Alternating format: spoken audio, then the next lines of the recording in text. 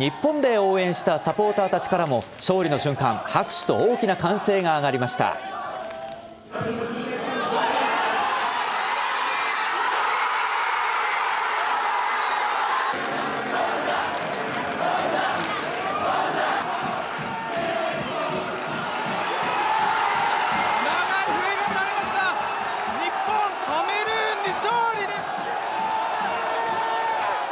本田最高です。本当最高です。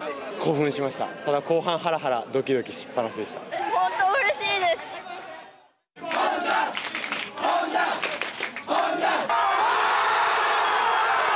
本田選手ナイスシュート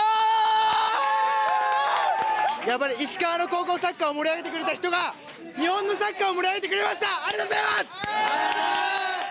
す。ワールドカップに出るそしてあのワールドカップで優勝するとかっていうことも話してました、まあ、最後の優勝というのはまだまだ1勝しただけで、えーでもそのステージにいますのでね本当にその目指して頑張ってもらいたいなと思いますね。